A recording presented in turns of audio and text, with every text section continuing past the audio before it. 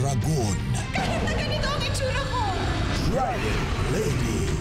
World premiere ngayong March 4.